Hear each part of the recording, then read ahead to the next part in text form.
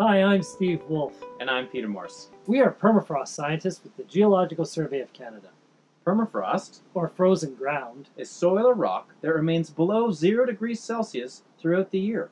Over half of Canada is underlain by permafrost, and most of northern Canada has permafrost everywhere beneath the land. We traveled to the western Canadian Arctic to investigate permafrost conditions along the Inuvik to Tuktoyaktuk Highway. The highway extends for 142 kilometers between the town of Inuvik along the Mackenzie River Delta to Tuktoyaktuk on the Beaufort Sea coast. It is Canada's most northern highway.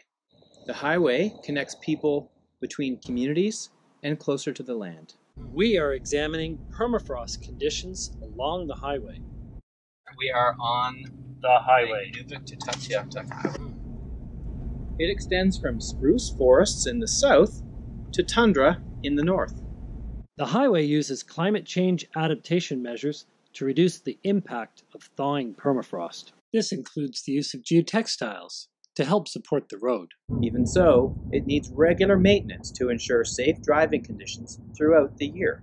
To better understand the permafrost conditions between Inuvik and the coastal community of Tuktoyaktuk, we are mapping the regional permafrost features and relating the complex geology to the ground ice conditions in permafrost.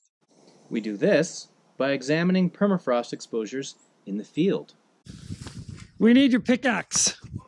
You see this yeah. nice layer of mix of clay uh, and, uh, and and ice in there.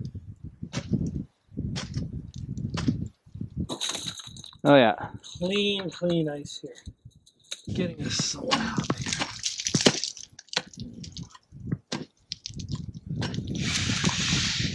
Oh yeah. So that's face is dirty. Platy, yep. fairly platy looking flat bubbles in there. Yep. Really flat. But again, very pure ice.